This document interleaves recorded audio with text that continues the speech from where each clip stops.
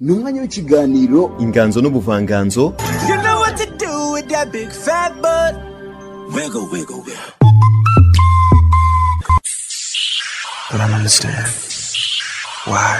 igihangano cyanjye ni uburyo bwo kuzuka nshobora gupfa uyu munsi iriya sitati yanjye ikazamara imyaka ijana yanditse ibitabo byinshi byatumye ahinduka umwanditsi w'ibihe byose ubwo yari arimo akina filime fasiti endi fariyasi yaburiye ubuzima bwe mu impanuka inganzo. Inganzo.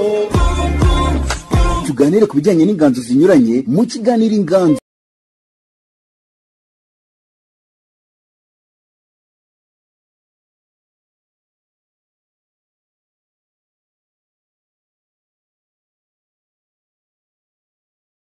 Yitwa Kayumba Abdara mu kiganiro inganzo n'ubuvanganzo.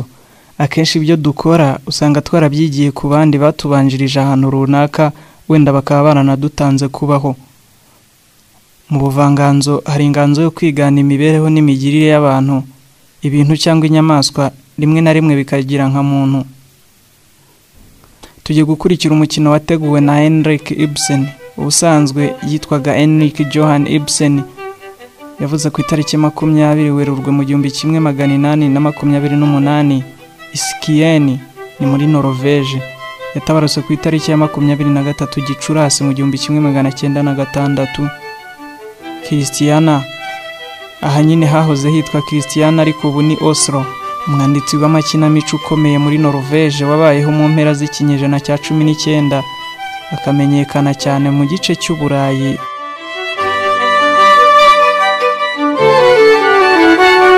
Mu izina ry'umwimerere ry'iki gitabo.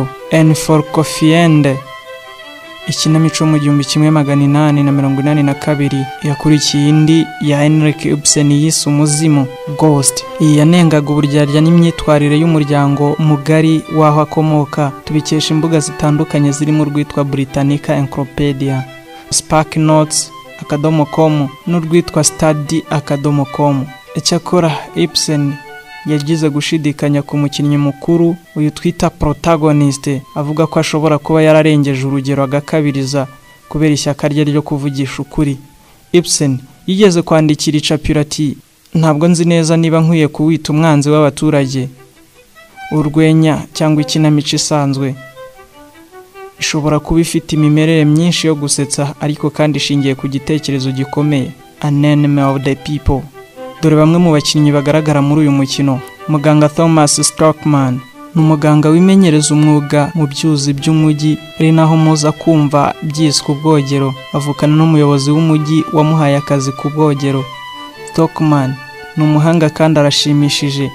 Mu buzima bwe hafi ya bwose aba ari umukene kandi yabaga mu cyaro. Akaza gutera imbere rwose kandi ubu atuye mu mujyi uhambaye. Ni naho yitwa dr. Stockman cyangwa muganga. Madamu catherine stockman ni umugore wa dr. Stockman akaba inyangamugayo kandi ifatika. Akenshi ashishikariza umugabo we gutekereza ku muryango we mu gihe ari gufata imyanzuro yihuse. Ni umwana wa morten kiel petra stockman. Ni umukobwa wa thomas muganga nyine na catherine madamu wa muganga stockman. Petra ni intangarugero nka se. Ni umwarimu ukora cyane. Ariko kandi ababazwa n'uko amategeko amusaba kwigisha ibintu nawe ubwo atemera. Peter ni murumuna wa dr. Stockman ni perezida wa komite yo ku byuzi cyangwa ubwogero. Ni umunyapolitiki witonda ariko rimwe na rimwe akaba umunyapolitiki utagira impuhwe na mba. Hofstad. Ni umwanditsi w'ikinyamakuru the people Highland. Ikinyamakuru cyo muri uyu mujyi nubwo yitwararika ariko agira umutima mubi wa politike. Aslansen. Aslansen ni umucapyi w'ikinyamakuru. Kubera ko areka impapuro zikandikwa kandi zigacapwa ku mwenda afite impamyabumenyi y'ubugenzuzi. Ni umuyobozi kandi w'ishyirahamwe rya ba nyir'amazu abo tuzi nka ba landlord ahagarariye itsinda rito ry'abacuruzi b'umujyi afite kandi uruhare runini muri sosiyete ya temperance kandi akunda kuyobora ibiganiro. Tugeze ku mukinnyi witwa Billing uyu ni umwungiriza mu biro by'ikinyamakuru akaba intagondwa cyane. Nka Hofstad ararikira kandi akifuza kwiyamamariza uwo mwanya. Rimwe na rimwe asa nkaho arambagiza Petra Captain Hoster. Ni umusare w'ubwato udashishikajwe cyane na politiki iciriritse. Atanga icyumba cy'inama ya muganga Stockman.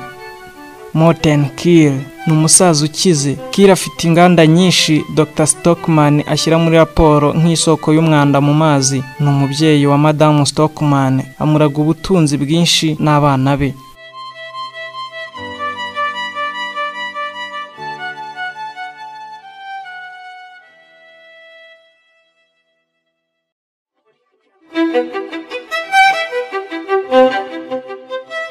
Nitumara gukurikira uyu mukino turaza no kumva ibitekerezo bya bamwe mu bawukurikiye. Inkuru itangira mu rugo rwa muganga Stockman mu ruriro ruba mu cyumba cyo hasi mukamuganga yakira biringi muri ako kanya hakaza murumuna we ariko kubera ko aba yatinze asanga inyama batetse zakonje maze akavuga ko adakunda kurya byinshi nijoro. Hinjira Hofstad wa munyamakuru agasahuzanya na meya.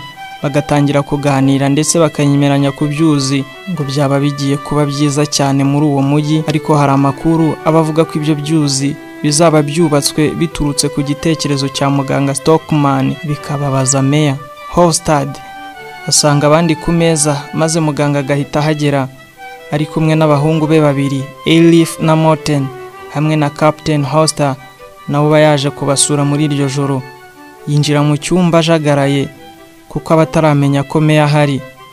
Meya yishimira uburyo abantu bose bari gufata amafunguro muri urwo rugo. Mu gihe muganga nawe aba ashimishijwe no kubona abana be bafite ubushake bwo kurya bikamushimisha cyane kuko baba bafata nk'abayobozi b'ejo hazaza. Meya abaza muganga ku bijyanye n'inkuru yanditswe mu kinyamakuru cya Hostad. Muganga agasubiza ko adateganya ko isohoka vuba kuko ngo hari ibiba bigikeneye kunozwa. Meya agenda arakaye cyane agasiga abwiye muganga ko agomba kujya akora ibintu bifitiye inyungu rubanda aho kwibanda ku bimufitiye inyungu bwite. Hostad billing na hosta bari kumwe na mukamuganga baza kunywa rikeri n'itabi. Hostad agatangira kubabwira iby'umubano wihariye umuyobozi w'akarere afitanye n'ikinyamakuru people's herald. Hosta avuga ko agiye kwigira muri amerika bikababaza cyane hostad na billing. Kuko baba batekereza ko atazabasha kwitabira amatora bagiye kuba vuba aha. Muri ako kanya hinjira petra yambaye indorerwamo akunda kwambara nimugoroba avuye ku ishuri. Yinjirana ibaruwa iba yahoze ishakishwa na muganga akajya ku ruhande akayisoma. Naho petra na ba banyamakuru babiri hofstad na billing bagasigara baganira. Abo banyamakuru bavuga ko nubwo petra ari umwarimu ariko agira ubugugu. Muganga Stockman yinjira azunguza ya baruwa avuga ko ntawe uzongera kwitiranya ubuvumbuzi bwe n'ibindi bihuha byagiye bihita kuko aba yarohereje ibipimo muri laboratwari ngo binozwe neza.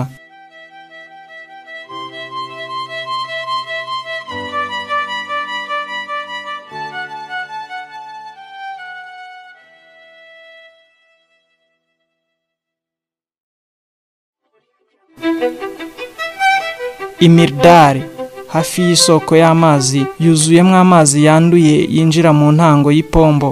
Umwanda uva mu ruganda rwo muri uwo mujyi no mu zindi nganda. Dr. Stockman yizeza abantu bose ko ikibazo gishobora gukemurwa no gusimbuza amazi. Muganga akomeza avuga ko iyo aba umujyi wakurikije inama ze zijyanye no kubaka imiyoboro ya mbere batari kugira ibyo bibazo rubanda bakamushimira kuko ngo aba ashaka kurokora umujyi igice cya kabiri kirabera mu cyumba cya dr. Stockman.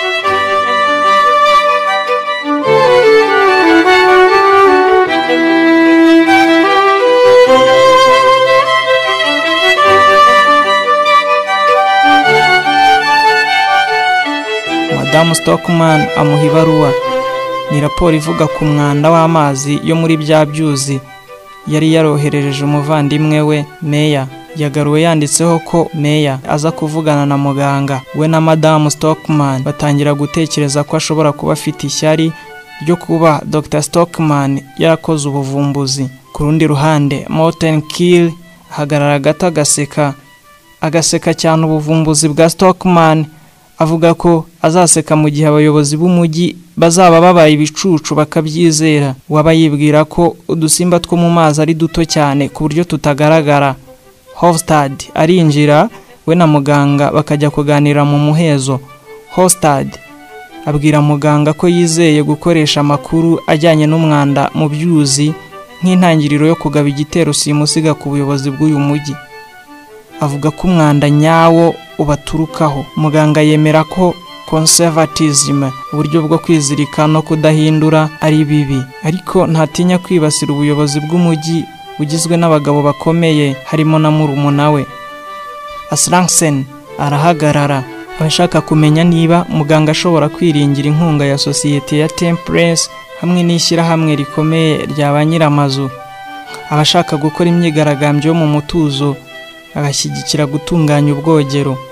Muganga Stockman ntatekereza ko ibi bizaba ngombwa kuko yizeye ko inama y'ubuyobozi y'ibyuzi izabona ko kubisana ari ngombwa. Asransen ashimangira ko atagamije kubabaza abayobozi b'umujyi.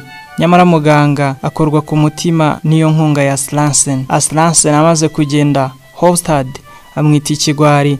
Muganga Stockman waba ari mu rujijo ariko abwira Hofstad ni meya. Yanze kugira icyo ahindura kuri gahunda y'amazi. Ubwo ntibishoboka. Akigendera. Muganga ajya kuganira n'umuryango we akabwira ko yishimiye cyane kuba afite rubanda nyamwinshi rumutera ingabo mu bitugu. Meya. Aba yababajwe n'uko muganga yakoze ubushakashatsi atabimubwiye. Afite impungenge ko raporo yakabirije ibintu. Avuga ko ikiguzi cyo gusana ibyasabwe cyaba gihenze cyane kandi bigatwara imyaka ibiri. Avuga ko bitumvikana ko hashobora kuba ikindi kibyihishe inyuma nk'ikibazo nyacyo.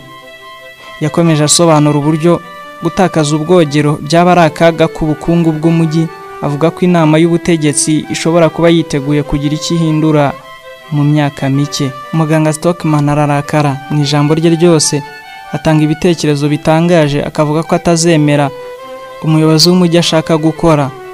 Umuyobozi w'umujyi ashimangira ko nta kintu na kimwe kijyanye n'umwanda uri mu mazi kigomba kugera ku baturage. Ariko muganga amubwira ko ikinyamakuru People's Herald kizamushyigikira kandi bagacapa inkuru kuri ibyo. Umuyobozi w'umujyi asubiza avuga ku bufasha yamuhaye mu kubona akazi nk'umuvandimwe we. Akomeza avuga ko amurusha ububasha kandi ari we umukoresha kandi ko natemera kumvikana nawe azirukanwa ku kazi. Umuyobozi w'umujyi yumva ko muganga atagishoboye ko ari igisebo kuri we no mu mujyi Dr. Stockman yibutsa murumuna we ko iyo gahunda ye ya mbere ikurikizwa nta kibazo yari kugira. Umuyobozi w'umujyi ashimangira ko muganga adashaka kugandukira ubuyobozi. Asaba muganga ko yakora ubundi bushakashatsi kandi agatangaza mu ruhame ko ibyo yabonye ari ibinyoma. Avuga ko mu kazi muganga nta burenganzira afite ku giti cye. Muri ako kanya petra wabumvirizaga ku muryango arinjira maze akabwira se ko agomba kwihagararaho ntahindura amahame ye. Umuyobozi w'umujyi asaba madamu Stockman kugerageza kugira inama zifatika umugabo we. Umuyobozi w'umujyi arigendera maze madamu Stockman akagerageza kumvisha umugabo we ko adafite imbaraga zo guhangana na murumuna we. Amusaba kwibuka umuryango we ariko Petro akabyanga akanabyamaganira kure. Dr Stockman asobanura ko atazigera yishima. Aramutse yunamiye ibyo umuyobozi w'umujyi amusabye. Akavuga ko atazigera ashobora kureba abahungu be mu maso aramutse adakomeje. Iki gice noneho kibera mu biro by'ikinyamakuru.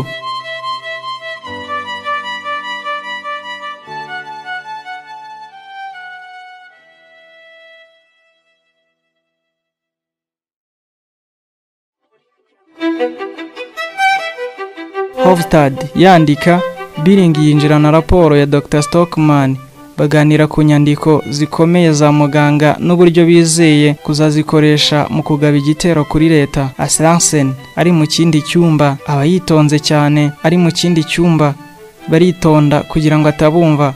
Dr Stockman arinjira akababwira ibyo yavuganye na meya. Bose barishima bakishimira gusenya ubuyobozi buriho.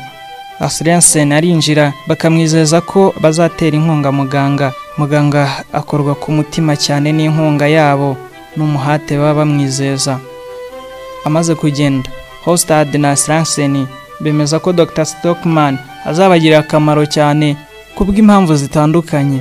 Asrensen afite impungenge z'uko muganga ashobora kuba adafite ubushobozi buhagije ariko Hofstad agashaka kumukoresha nk'umuriro wa politiki Billing agira icyo avuga ku kuvanga itangazamakuru na politiki asilensen akibutsa biring ko we ubwe yiyamamariza kuba umunyamabanga w'inama y'umujyi biring ababwira ko abigirira gusa kugira ngo arakaze ikigo asilansen arasohoka.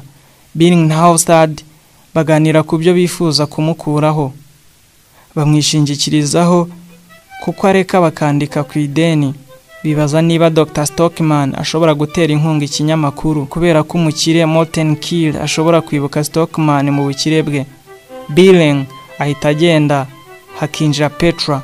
Aba yarabemereye gusemura inkuru yo mu cyongereza mu kinyamakuru ariko noneho akabyanga kubera ko ngo ibirimo biba binyuranyije n'intego z'ikinyamakuru cy'abaturage. Hofstad abwira billing ko agaragarije petra mu buryo runaka ko bakundana iyo nkuru yazaba nziza kugira ngo abasomyi bishime. Petra akavuga ko ngo yaba yihuta cyane.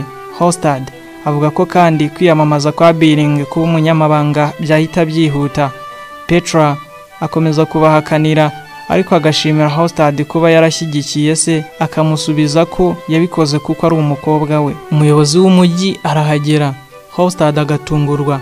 Uyu muyobozi w'umujyi avuga ko uburyo inkuru zipanze ari bwiza.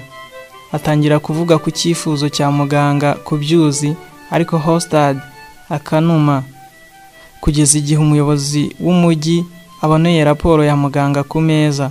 Umuyobozi w'umujyi abwira hostad na slansen ko gahunda ya muganga yubahirijwe cyazaba igitambo kinini kuri uyu mujyi amafaranga azakenerwa ngo agomba kuva mu nguzanyo ya komine kandi ibyuzi bigomba gufungwa imyaka ibiri.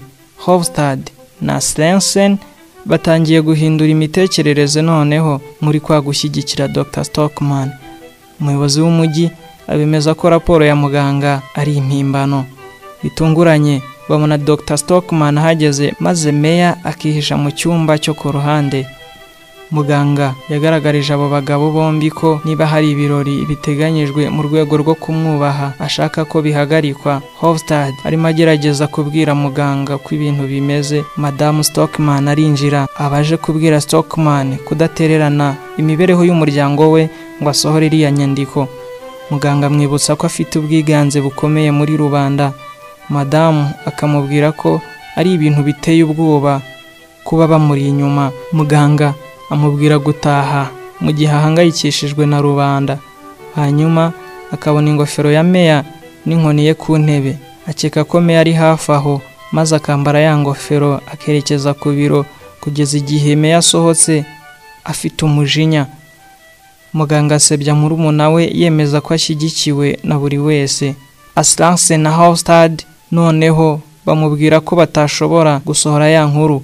Hofstad avuga ko atabitinyuka kandi ko abasomyi ari bo bagenzura imikorere y'ikinyamakuru kandi ko iyo nkuru yakwangiza umujyi umuyobozi w'umujyi aha hofstad itangazo agomba gusoma kugira ngo ahoshe ibihuha byose. Noneho muganga yiyemeza gukora inama rusange ariko Astransen akamubwira ko atazabona ikigo cyamuha inzu yo kuvugiramo ayo magambo. Umukino ukomereje muri sare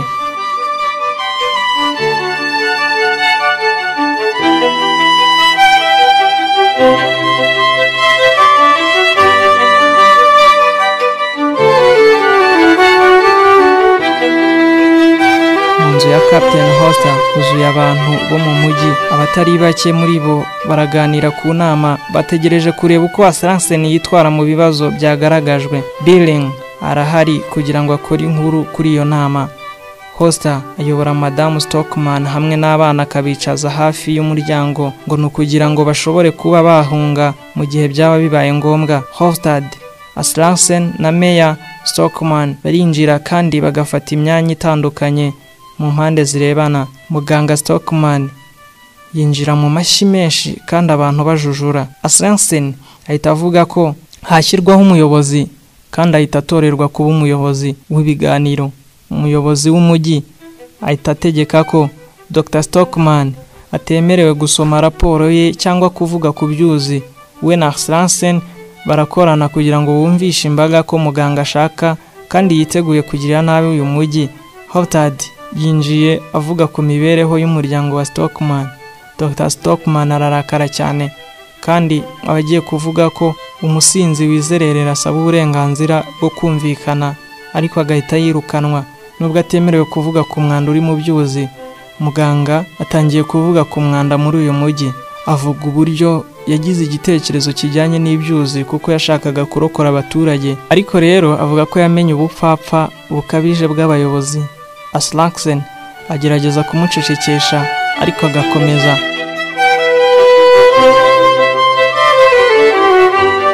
Ari kuvuga intege nke za murumuna we meya. Umusinzi yongeye kwinjira arirukanwa vuba na bwangu. Muganga arakomeje. Avuga ko abayobozi atari bo banzi babi. Avuga ko umwanzi mubi cyane ari rubanda nyamwinshi. Abitabiriye inama bose bararakaye. Aslaksen arasaba muganga kutongera kuvuga ibyo yavuze. Muganga avuga ko abapfapfa ari benshi kandi ko imbaraga zigomba kuba mu maboko ya bake. Aravuga ko adashyigikiye ibyitwa aristocracy ahubwo ko ashyigikiye rubanda rugufi rufite ubwenge. Avuga ko igitekerezo cya rubanda nyamwinshi ari ukuri gushaje.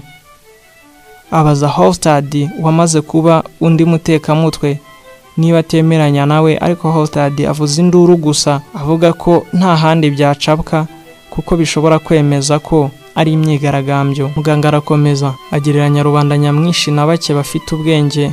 Yibasiye Hofstad kubera ko yamuhindutse maze Hofstad avuza induru avuga ko akomoka ku bahinzi kandi ko yizera abaturage. Muganga yanzuye avuga ko imyitwarire no gutekereza neza bijyana. Ashimangira ko ubutumwa bwe buzumvikana kuko azajya kwandikira mu bindi binyamakuru mu yindi mijyi bituranye. Hofstad atangaza ko muganga ari umwanzi w'abaturage kandi mu byishimo bye Dr. Stockman arabyemera agasaba ko umujyi ugomba guhanagurwa kuko inzoka zo mu mazi zigomba kurwanywa. Aslansen avugira mu nama ko muganga agomba gufatwa nk'umwanzi w'abaturage. Mu gihe Aslansen arimo gukusanya amajwi Billing asobanurira abagabo benshi ko muganga akunze kunywa kandi ko aherutse kwangirwa kuzamurwa mu kazi. Morten Key yegereye muganga avuga ko niba urugamba rwe rufite uruhare mu kumenyekanisha ibinyoma ku mwanda wo mu byuzi ashobora kubabara. Aslansen atangaza ko kubera ubwumvikane buke Dr. Stockman yafashwe nk'umwanzi w'abaturage aragenda n'umuryango we. Imbaga y'abantu isigara iririmba ngo umwanzi. Tugeze mu kindi gice. Iki kibera mu rugo rwa muganga Stockman.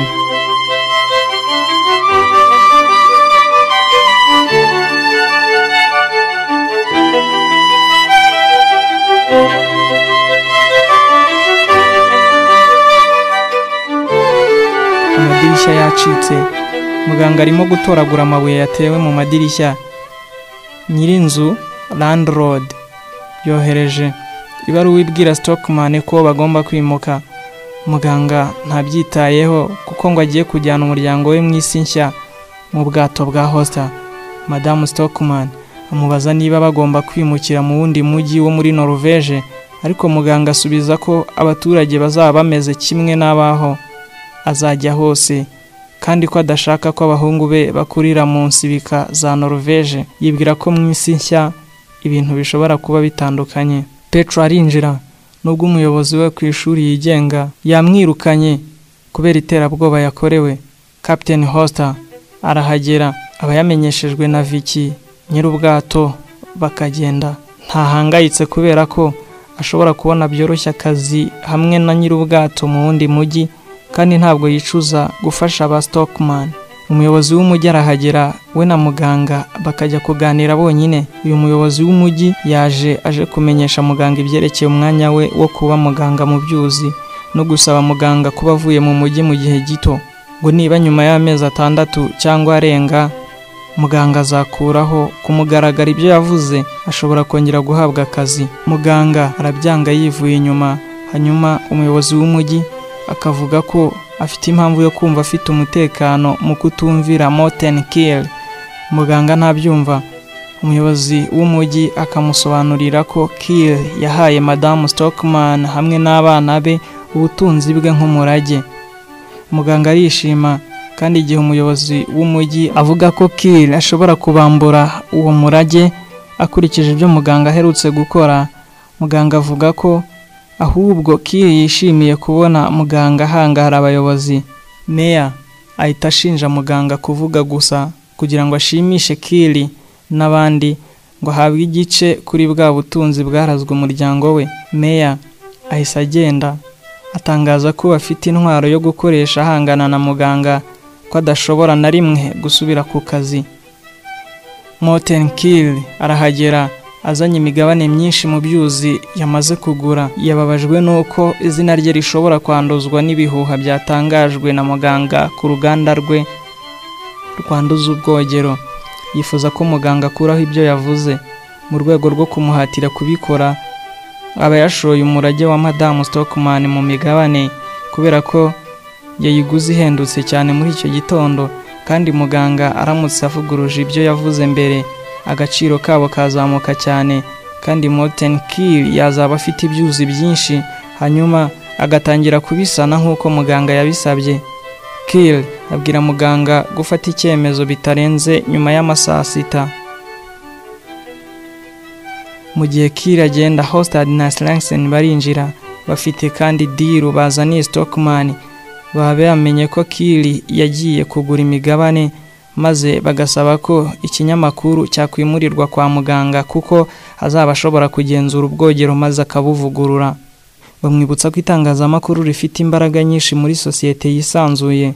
Icyo baba bashaka ni ukwihohora ngo ikinyamakuru kigume mu bucuruzi. Muganga asubiza ninura avuga ko biteye isoni kuba inshuti y'abaturage nka People's Herald ikinyamakuru kuva mu bucuruzi. Ariko kubera ko ari we mwanzi w'abaturage ngo ntashobora kubyitaho cyane. Ahita afata inkoni ye akagerageza kwirukana aba banyamakuru akabatura mu muferege ariko bagashobora guhunga. Madamu Stockman Petra na Captain Hoster bifuza kumenya ibiri kuba ariko mbere y'uko muganga ababwira yandika ati oya oya inshuro eshatu ku ikarita akayohereza Morten Kill abwira umuryango we ko batakigiye mu bwato ku isi nshya ahubwo ko bazaguma kurwana. Captain Hoster arababwira ngo bagumiwe ngo azakomeza ubuvuzi bwe hamwe nabo kuko abandi bose bazamwanga. Muganga ahobera umugore we amusaba kureba uburyo izuba riva neza. Yiyemeje guhiga impyisi ziri kugenzura umujyi gusa ababajwe n'uko atazi niba hari abagabo bashobora gukomeza umugambi we mu gihe yaba amaze gupfa. Abahungu ba muganga bamaze kuhagera ubwo baba bamaze umwanya boherejwe mu rugo kuko bari bagiye kurwana. Muganga yahisemo ko azashinga ishuri ry'abana b'abakene muri sale nini aho yitiwe umwanzi w'abaturage madamu Stockman. Aracyafite impungenge ko impyisi ishobora kumuhiga. Amusubiza ko akomeye kurusha impyisi kuko aba ahagaze wenyine.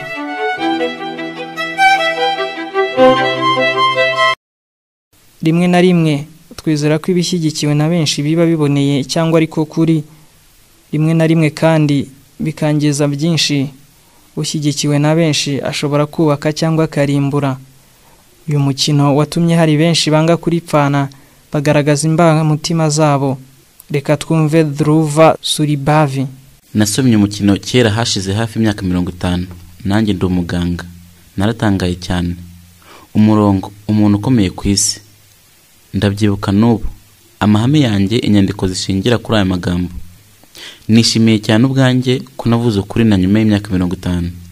Na Bashir Bat nturuka muri irani iyi kinamico ni ukuri ijana ku ijana ku bibazo bya irani muri iki gihe. Abaturage ba irani bashobora kuba umwanzi ku bantu bose bavuga ukuri kuri sosiyete. Irahambaye rwose.